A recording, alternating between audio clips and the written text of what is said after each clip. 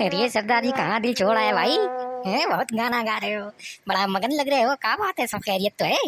अच्छा चलो एक चाय पिलाओ गर्मा गर्म मगलाई मार के। चाय तो हो गई खत्म।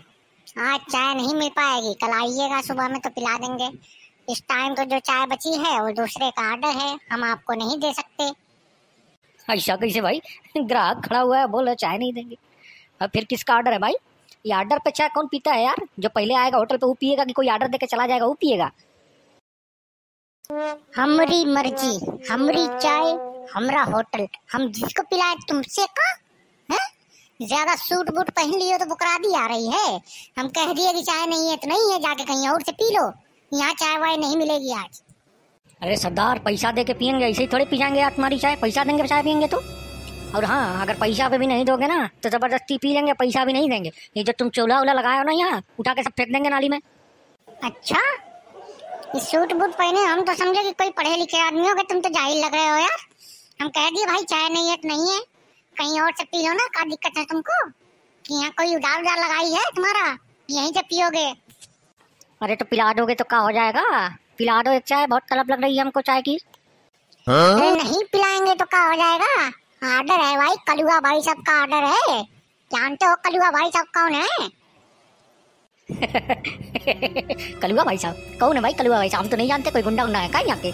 कि विधायक है यहाँ के? कोई पुलिस वाला है कलुआ ही है? तभी तो इतना डर रहे हो तुम मुझसे। कोई गुंडा ही होगा नाम भी कलुआ। इतना बकर बकर किए जा रहे हो? जानते हो नहीं कलुआ भाई साहब कौन है? गुंडा और मवाली और पुलिस वाला बना रहे हैं उनको। अगर आ गए ना तो तुम्हारा पेशाब निकल जाएगा। ये सूट बूट गीला हो जाएगा पूरा। बहुत खतरनाक आदमी है कलुआ भाई साहब। अरे उधर कहाँ जा रहे हो? ठेले के पास कहाँ जा रहे हो तुम? इधर आओ इधर आओ। चाय पीने जा रहे हैं और कहाँ जा रहे हैं? बोले ना कि हम चाय पी के जाएँगे। ऐसे थोड़ी जाएँगे? ये लो कलुआ भाई साहब आ गए।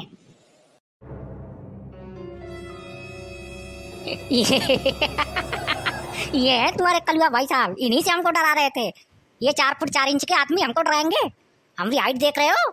उठा के पटक देंगे नाली में फंस जाएँगे निकल भी नहीं पाएँगे क्रेन बुलाना पड़ेगा इनको निकालने के लिए।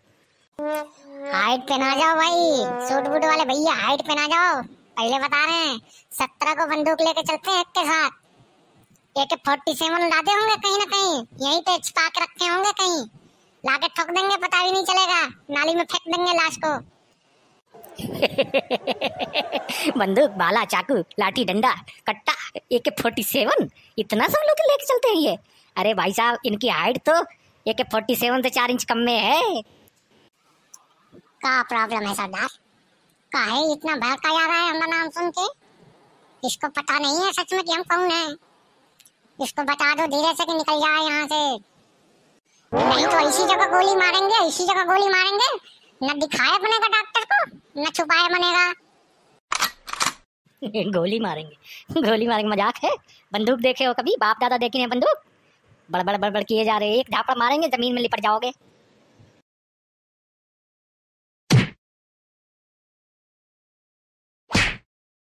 सरदार, ये वो कमला पसंदी हो? पर कलुआ भाई साहब, आप तो गुटखा खाते नहीं है। अबे खाते नहीं है तो क्या हो गया? तुम्हें एक कमला पसंद हो, हमको चबा के इसके मुँह पे थूकना है, बस। नहीं नहीं भाई साहब मुँह पे मत थूकना, गुटखा खा के मुँह पे मत थूकना। मान गए मान गए आप बहुत बड़े गुंडा है भाई साहब, आपके पास होगी पिस्तल। आप जो है ना एक फोर्टी वन सेवन से एक फोर्टी सेवन से तीन चार फीट बड़े ही हैं भैया, आपसे गलती हो गई, माफ़ कही तो। देख लिए कलुआ भाई साहब का जलवा, मज़ाक में ले रहे थे हमको।